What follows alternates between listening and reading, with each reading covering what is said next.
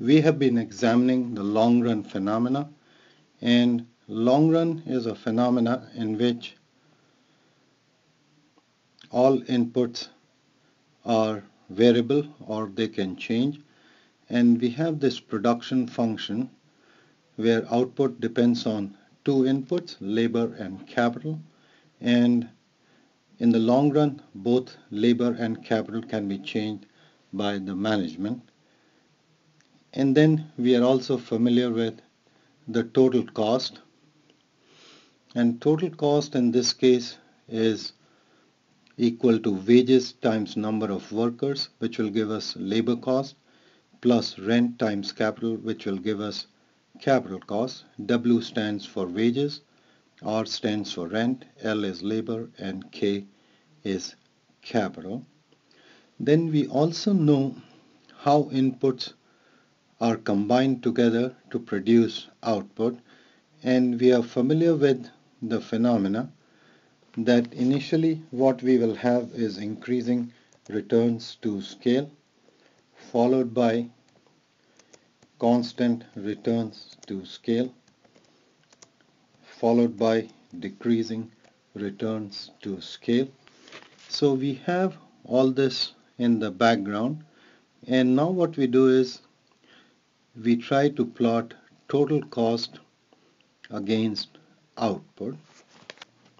Here on the vertical axis we have long run total cost denoted by LTC as in dollars and on the horizontal axis we have quantity of output denoted by Q and based on all that we know we can plot the total cost curve and since we are looking at long run phenomena where we do not have any fixed input that means all costs are going to be variable or all inputs are variable and therefore costs will be variable too.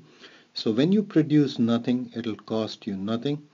And then the firm tries to figure out what is the lowest possible total cost of producing each level of output. And suppose we have this information and we plot those points and join them and what we get is a curve which looks something like this long run total cost and it starts from the origin indicating that all inputs are variable or there is no fixed cost. And what you observe here is as you increase output, it costs you more to produce output or that is as we increase output long run total cost increases. And why does this happen? To produce more output we need more workers and more machines. And given wages and rent we find as we employ more workers and more capital, we have to pay out more and more money as total cost. So all these points on the LTC curve represent the most efficient point and that's what the firm has figured out. That is, what is the lowest possible total cost of producing each unit of output. Now you also know that if we draw a line from the origin up to a point on the LTC.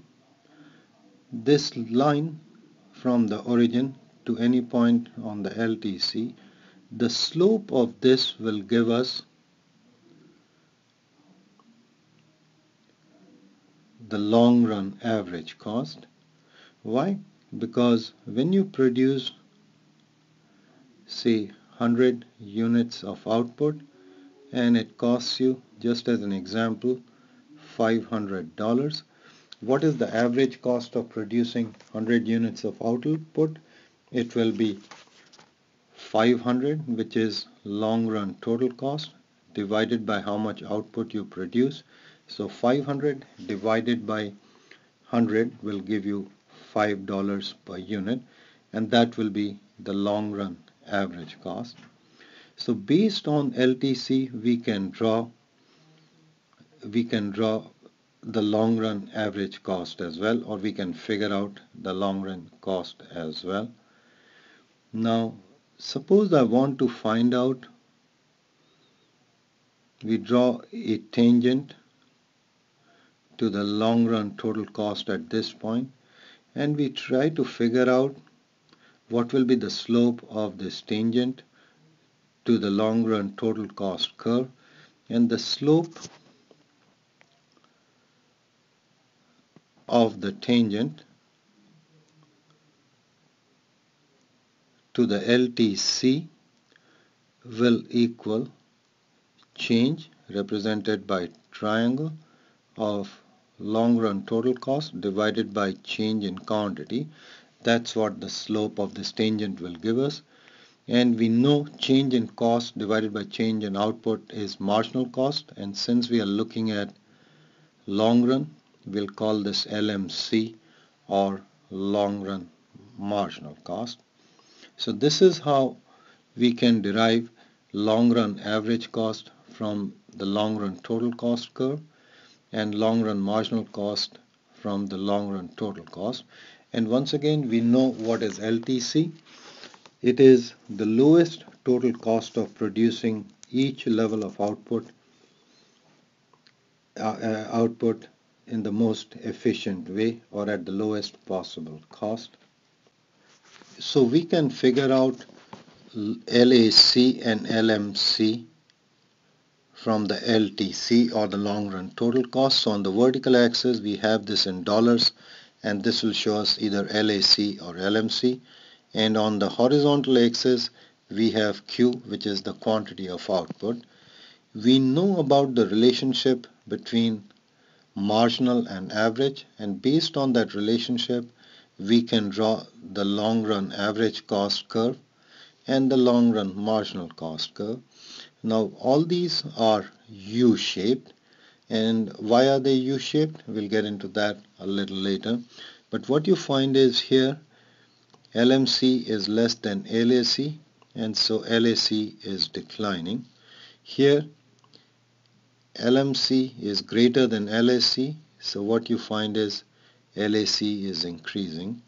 And so LMC intersects the LAC curve at LAC's minimum point minimum of LAC so this is the shape of LMC and LAC both of them are U-shaped. And both these the location of these curves is based on the relationship between marginal and average concepts here what I have presented is a stylized version of the LAC curve. Now remember initially as we increase output what we believe happens is we'll face increasing returns to scale and when we have increasing returns to scale just remember because there's an increase in factor productivity as we produce more and more long run average cost declines. So why does long run average cost decline between A and B? It's always because of increasing returns to scale or IRS. And then as we increase output further, what you find is the LAC becomes flat and this is happening simply because there is constant total factor productivity in the long run or what we have is constant returns to scale. So CRS follows IRS and DRS follows CRS and so here when average cost long run average cost is increasing this must be happening because of decrease decreasing returns to scale all this is happening because of decreasing returns to scale. So since we believe in this sequence, what I have presented here is a stylized version of the LAC curve. The declining portion of LAC curve is simply because of IRS. The flat part of LAC is because of CRS and the rising portion of LAC curve is because of DR. Now the firms are very interested in keeping the cost of production to the lowest possible and there's some relationship between price and average cost of production though the relationship is not exact. So if the firm wants to be competitive what it is going to do is charge a lower price and they can do it if and only if the average costs are lower and another reason as to why businesses might be interested in keeping average cost of production lower for a given price they can make more and more profits. Now the location and the shape of LAC depends on the technology available. Consider a following industry where the firm hits the minimum of LAC at very low levels of output. Let's call this LAC1 and and so at this point the firm is at the minimum of LAC but to attain this point the firm has to produce an extremely large level of output and to produce extremely large level of output, they, the businesses have to invest a lot in larger machines and so on. So when you find an industry that hits a minimum at a very high level of output, you are likely to find very few competitors in this industry and each of these businesses in this industry must be producing a large quantity of output. One example that comes to my mind is look at how many manufacturers we have to produce large commercial aircrafts. There are just three. Boeing, the US manufacturer, Aerospace, a collaboration between UK and France, and Ilyushin, which is produced by Russia. And, and you can also look at car manufacturers. There are not many. And, and so in these industries, what you find is you'll have few competitors but each of them will be large scale firm. Now compare this to a situation where the firm hits a minimum at a relatively lower level of output and so the amount of investment required to produce lower level of output is not very high relative to what we found under LAC2 and so here what you're likely to find in the second industry, what you're likely to find is a larger number of competitors and each of them producing relatively smaller part of the market. Where do we find this kind of a phenomena? LAC2 or the industry which is characterized by an LAC curve hitting the minimum at a low level of output, you're likely to find this in the case of businesses producing small consumer items like toothpaste, toothbrushes, calculators, and so on. Let us go back to the example of large commercial aircraft. In 1950s and 60s, US was the dominant producer of large commercial aircraft and and by dominant we mean it was producing a very large quantity of output and when it was doing so it had already hit the minimum of LAC.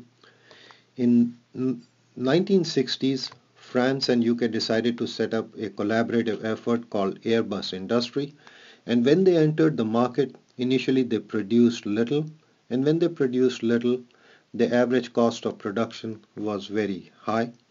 So if the British and the French or the Airbus industry wanted to sell large commercial aircrafts based on the average cost of production, the price would have been much higher for those aircrafts relative to what the US was charging. So in order to make Airbus competitive relative to US manufacturers, the UK and the French governments decided to subsidize Airbus industry. And over time what has happened is as they produced more and more, the average cost of production started to fall. And as average cost of production started to fall, they required less and less of government help to produce large commercial aircrafts.